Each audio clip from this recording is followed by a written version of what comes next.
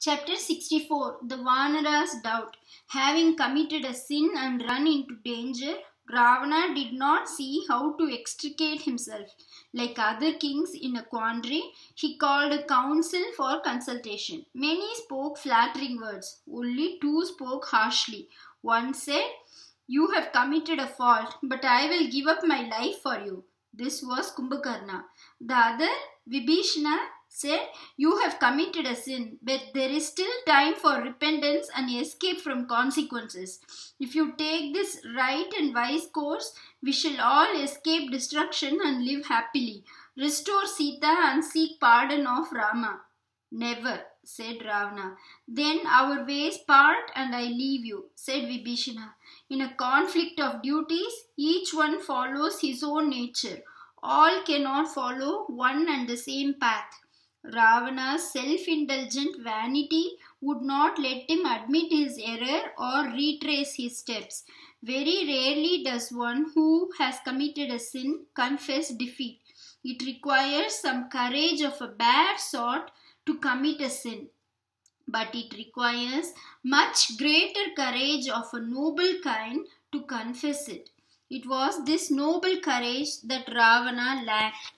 When an evil is being perpetrated, the friends of the evildoer face a difficult problem. Some are constrained against their better judgment to espouse the wrong cause. Through gratitude for past kindness, a sense of loyalty, or affinities of blood.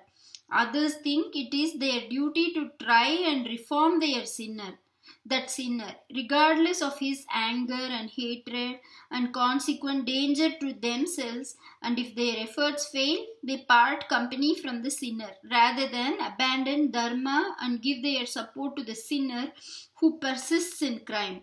They they hold that it can never be one's duty to support or cooperate with adharma. It would indeed be adharma to refrain from doing one's best to reform the sinner or to cooperate in his sin. In the Ramayana, Kumbhakarna and Vibhishana represent these two different types. If Ravana had told Vibhishana, Come, let us go to Dandaka forest and carry off Sita, it's inconceivable that Vibhishana could have complied. This, why, this is why we respect uh, Vibhishana. At least now restore Sita and be happy. Vibhishana said and tried to persuade Ravana. Rama will surely forgive you. Take the way of Dharma. But Ravana would not listen, and Vibhishana, as an enemy of sin, had no alternative but to part company from the perverse wickedness of Ravana. Hence, it would be wrong to find fault with Vibhishana. And if we find fault with him, it's because our concern for Dharma is weak. But can we find fault with Kumbhakarna? We cannot do this either. He is one of those noble soldiers of lost causes whose faults we forgive for their selfless loyalty and sublime acceptance of death. But because we cannot condemn Kumbhakarna, it does not follow that we must condemn Vibhishana. There are some people today who rejoice in arguing against Dharma and against Vibhishana. Hence, this elaboration of a simple point. Men are restrained from evil by the wholesome fear that if they commit sin, they would forfeit the affection and goodwill of their friends and kinsmen. This fear is a strong incentive to good behavior, and its removal would be a serious loss in society. All this is forgotten by those who argue that Vibhishana was a traitor. Ravana was the first, and unfortunately by no means the last, to dub him by that name. Those who are anxious to retain the support of kinsfolk while pursuing evil ways disapprove of Vibhishna's conduct. But Vibhishna was not afraid of being a traitor. He would have nothing to do with Adharma. His course was, however, not easy, as we shall see. The Vanara chieftains sta- standing on the northern seashore saw all of a sudden the sky lit up with a golden glow like the summit of Mount Meru. It was too steady to be a flash of lightning. In the brightness could be distinguished the forms of five big Rakshasas. Sugriva, the king and commander of the Vanaras, looking at them, said, There is no doubt these are Rakshasas come from Lanka with hostile designs. On hearing this, the Vanara warriors armed themselves with trees and boulders and said, Let us go. We shall intercept and slay them and bring them down to earth. Vibhishana, hearing these words of the Vanaras, showed no signs of fear, but from above, with calm courage, spoke out in a clear voice. Vibhishana stands here before you, the brother of Ravana, the wicked king of the Rakshasas. I am here before you, none other than brother to Ravana, who killed Jatayu and carried off Sita by force and is now keeping her a prisoner in Lanka. In vain I strove to turn him from his wicked designs and counsel him to restore Sita and seek Rama's forgiveness. All the response I got was disdain and public insult. Hence I am standing here before you, renouncing kingdom, wife, and children. I seek service and sanctuary at Rama's feet. I pray you, convey this information to Rama.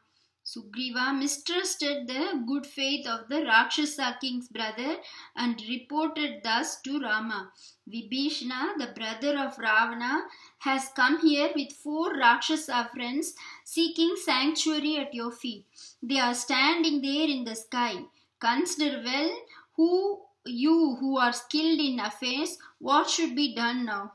These Rakshasas are adepts in duplicity.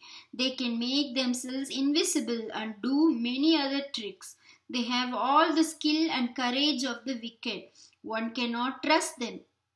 I believe that these Rakshasas have been sent by Ravana himself.